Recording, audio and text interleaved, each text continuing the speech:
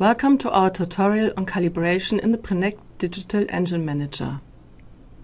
My name is Clara Wiebold and I work for Prinect Service. We will now show you how to calibrate printing materials with the Digital Engine Manager. We strongly recommend that you calibrate all the printing materials you use to make sure you have a stable print run. Before doing that, print at least 200 sheets to warm up the press. Open the Digital Engine Manager. Go to the Calibrations tab. You see a list of predefined printing material types here and any calibrations of printing materials that you generated. Generally, a target calibration is assigned to a predefined printing material type. In case of a new calibration, we recommend starting from a predefined printing material. We use the target calibration as a reference for the printing material you will calibrate. Select a printing material type that matches your printing material.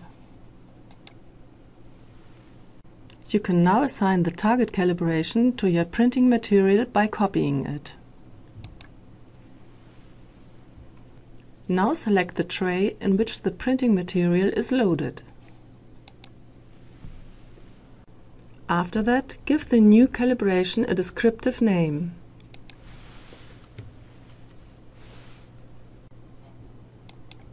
Select the manual measuring method for the first measurement. Also select the screen system you want. After that, click Test Page Output. Set high in this box for greater measuring accuracy. Then, not just one CMYK strip will be printed, but several that you have to measure. We recommend printing at least 10 sheets to minimize color deviations during output. You can select the output tray here. If you select high quality and engine adjustments, the press will be linearized before calibration. This means that both the lasers and the toner transfer will be linearized in the press. Generally, normal is adequate.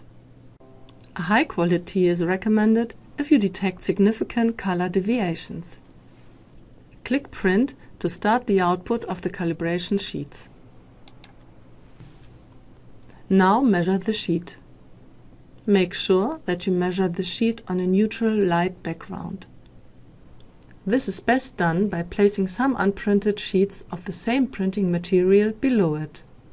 With VersaFire EV or EP, it's very simple for you to recalibrate printing material you already calibrated. If ambient conditions like temperature or humidity will change, you can change your calibration at any time. Select the desired material and select Calibrate.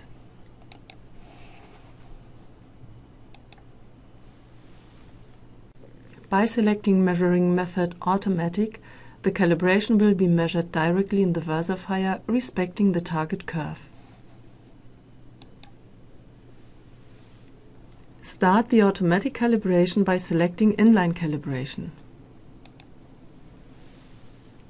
Now select Apply Calibration. After that, the new calibration is active.